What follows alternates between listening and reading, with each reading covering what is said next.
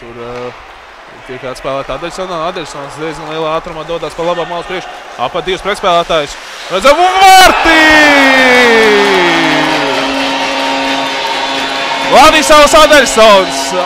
Ultimate Hokeja līgas oktobra vērtīgākais spēlētājs ir tas, kurš uh, iedzen arī pirmo ripu Artūra Šilovs sargātajos vārtos. Redzam, ļoti veiksmīgs solo reiz no iz otra laukuma uh, gala uh, Vladislava Adersona izpildījumā. Un rezultāts kļūst 1-2. Izdodas zemgalē samazināt rezultātu starpību. Tieši formātā spēlē 4 pret 4.